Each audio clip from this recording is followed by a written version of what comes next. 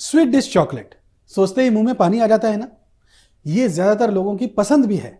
लेकिन क्या आप जानते हैं कि चॉकलेट का ज़्यादा सेवन आपको बीमार बना सकता है?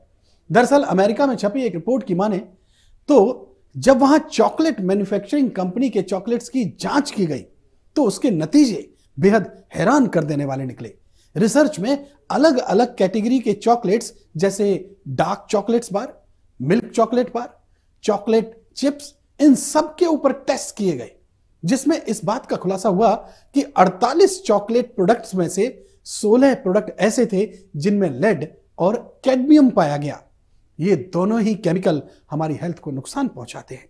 ज़्यादा मात्रा में लेड का सेवन करने से ब्रेन और लिवर पर बुरा असर पड़ सकता है। वहीं कैडमियम के लगातार इस्तेमाल से लिवर और फेफड़े बुरी तरीके से डैमेज हो सकते हैं। इतना ही नहीं, गर्भवती महिलाओं के लिए भी ये जहर का काम करते हैं। इसलिए अगली बार स्वीट डिश चॉकलेट का सेवन करें तो ज़रूर सोचें कि कहीं ये प्रोडक्ट आपकी आदत तो नहीं बन गए हैं।